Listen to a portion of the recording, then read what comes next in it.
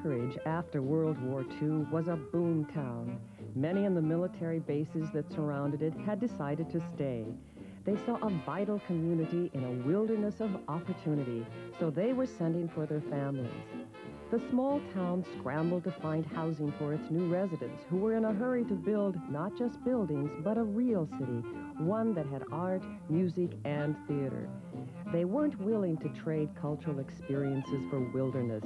They wanted them both, for themselves and their children.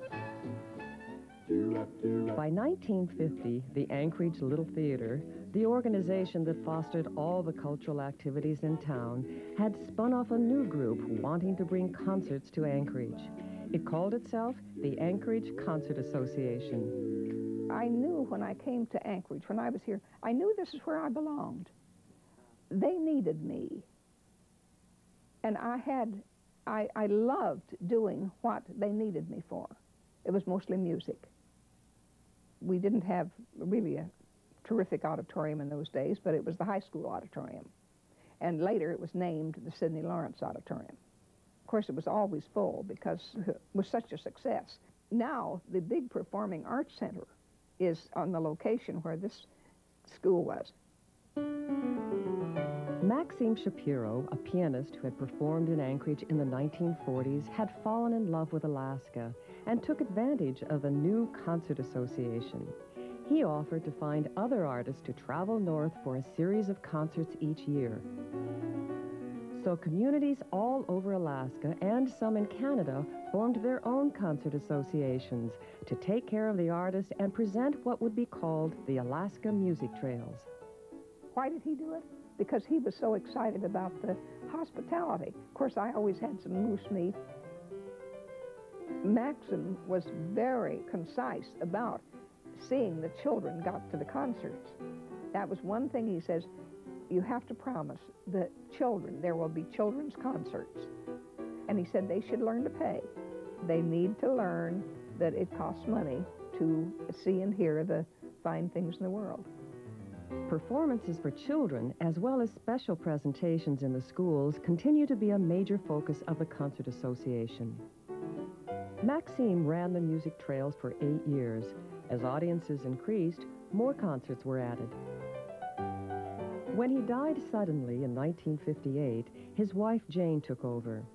With a lot of help from Bob Wilkins, president of the Concert Association, they arranged the concerts. Soon, Bob was managing the tours. I don't know how we ever did without Bob Wilkins. Well, it's provided me with a great hobby and avocation for uh, 40 years. Even then, Anchorage was attracting the best performers in the world. Being on the polar route and having so many foreign airlines flying through here, we were able to get uh, some groups from Europe that uh, otherwise would not have been available to us. Soon, Alaska had grown beyond the music trails. The state was changing, and so was the Concert Association. The old Sydney Laurence Auditorium had now been replaced by the new auditorium at West High. I came up in 1975, and I thought, well, I'm now in the wilderness. I can forget about seeing wonderful, wonderful performing arts events. Was I surprised? All the art scene that was here was really community volunteer based. Oh, we had to have volunteers. Oh, I never got a cent for anything. Mom was, for as long as I can remember, has always been a member of, of the association. We also took care of putting the season ticket bundles together at home. I was a conscripted volunteer. Today, volunteers number over 100 and are known as the Anchorage Concert Associates. There's a half a century of memories, a chuckle here and a note of wonder there at the greats who came to Anchorage. There's a group called the Colorado String Quartet. And in the middle of the second movement, all of a sudden, the stage that they're on, which is hydraulic, starts to go down with them on it.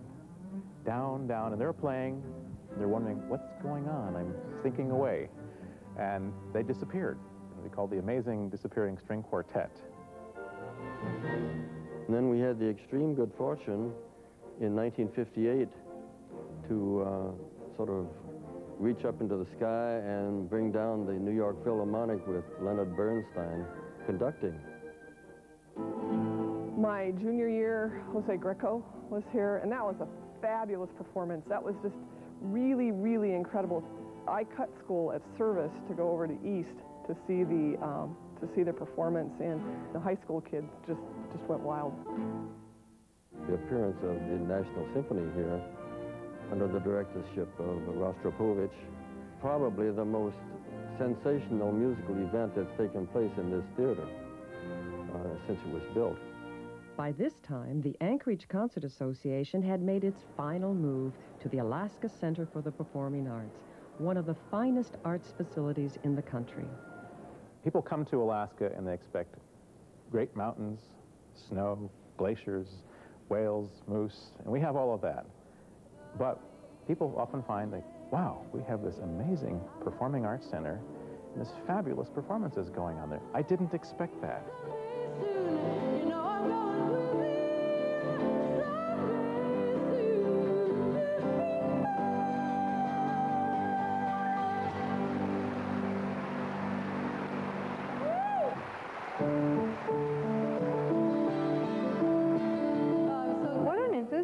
Audience this is. Marvelous. It's wonderful and warm and and and uh, it's a very it's a very educated audience. It I mean, I, I'm sure that that's in part what they bring themselves to their experience, but also they've clearly been coming to high quality things. It shows.